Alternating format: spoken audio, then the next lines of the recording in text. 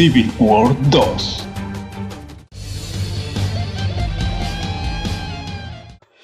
La batalla entre los dos bandos de superhéroes más poderosos del planeta se detuvo después de la última visión de Ulises.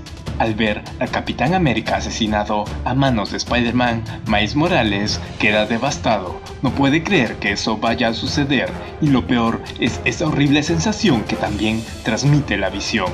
Capitana Marvel pide a Miles que se rinda y vaya con ellos. Un nuevo inhumano llamado Ulises, que parece tener la habilidad de predecir el futuro, ha llevado a la comunidad de superhéroes a la guerra. Capitana Marvel cree que si tiene una oportunidad de evitar una catástrofe y salvar vidas, ella no tiene otra opción más que actuar. Pero Iron Man cree que los prejuicios y experiencias de Ulises están influenciando sus visiones, y dice que depender totalmente de ellas no es diferente a perfilar. Iron Man ha extraído a una mujer que Capitana Marvel tenía prisionera gracias a una visión de Ulises, llevando a una violenta batalla entre sus fuerzas y las de Capitana Marvel que dejó al Triskelion destruido. Pero la batalla se detuvo cuando Ulises tuvo una visión que compartió con todos los héroes. Miles Morales, alias Spider-Man, asesinando a Steve Rogers, alias Capitán América, en las escaleras del Capitolio. Tony ya lo había dicho antes, que algo exactamente así iba a suceder. Ahora, un niño, este joven Spider-Man, quien ha sido un Avenger por un corto tiempo, no ha hecho nada malo. Siempre ha estado del lado correcto, no hay ni una sola fibra de maldad en él. Ahora, Capitana Marvel lo está acusando de algo que no ha hecho y jamás lo haría. Pero Carol no quiere atacar a Spider-Man, solo quería pedirle su ayuda para asegurarse que lo que acaban de ver lo que acaban de sentir, lo que todos experimentaron, no suceda. La intención de Carol es también protegerlo, pero sería llevándolo en custodia, algo que a Tony no le parece correcto. Bien, bien, déjalo decidir qué es lo que quiere hacer, dice Tony. Concuerdo con ello, responde Carol.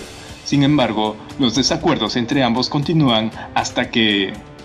¿Puedo? Interrumpe Capitán América. Dirigiéndose hacia Spider-Man le pide a Miles que se ponga la máscara de nuevo, ya que esa máscara representa algo.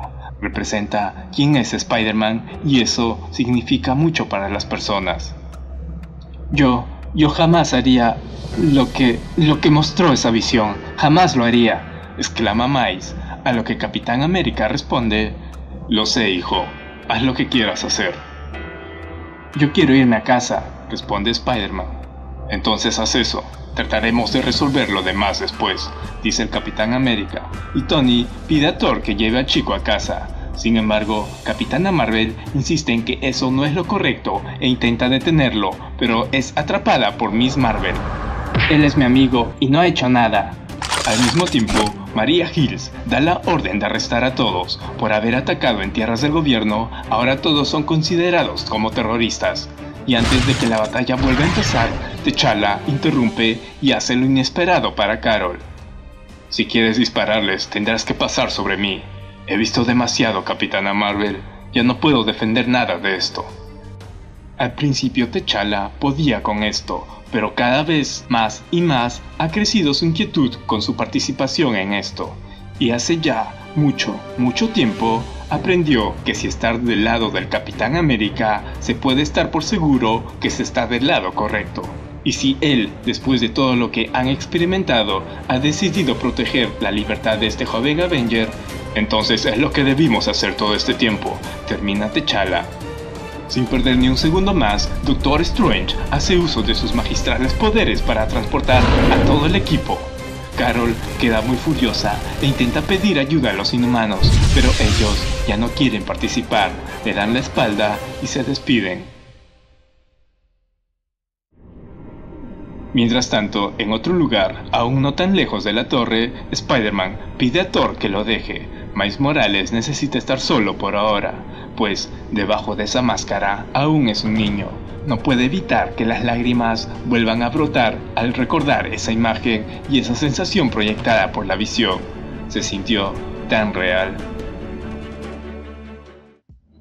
Y en la base de los inhumanos, Nueva Tilan, las manifestaciones de los poderes de Ulises se mantienen. Ulises, soy Karnak. ¿Puedes escucharme? Dinos, ¿qué está sucediendo? De regreso al Triskelion, los guardianes de la galaxia, ahora sin su nave, tendrán que permanecer en la Tierra hasta que Carol les consiga otra. Y muy lejos de allí, nuestros fugitivos héroes llegan a una base secreta para reorganizarse. Tony quiere encontrar a Thor y Spider-Man antes que Denver lo haga. Sin embargo, Miss Marvel no puede dar más información sobre su amigo Spider-Man y decide salir del búnker, al igual que sus otros compañeros de equipo y además una aliada de Iron Man, Riri Williams, quien, gracias a su tecnología, escaneó el búnker e hizo un mapa digital y está dispuesta en ayudar para encontrar la salida. Tony y los demás superhéroes se han dado cuenta de las intenciones de los jóvenes héroes, pero no están dispuestos a detenerlos. Mientras tanto, Capitán América aclara a Tony que no existe alguna historia pasada con Spider-Man, nada que los vincule, descartando así la posibilidad que esa visión sea cierta, y además, T'Challa confirma que las visiones de Ulises no han sido muy acertadas desde hace ya un tiempo. Y ahora, la única manera de averiguar si esa visión del futuro vaya a suceder es solo decisión del Cap. Bueno, y la de Spider-Man. Termina Tony. Horas más tarde, a las afueras del Triskelion, Carol Danvers observa las luces de la ciudad, ciudad que ella ha salvado, pero a costa de vidas, la vida de su amado Roddy y la del Dr. Banner, cayendo en la confusión, hasta que su equipo, la directora Hill, Peter Quill, Tormenta y Jean Grey han venido para acompañarla y apoyarla en sus decisiones. Mientras intentan hacer un nuevo plan para resolver esto, la directora Hill es informada que Spider-Man ha sido encontrado. Esta historia continuará.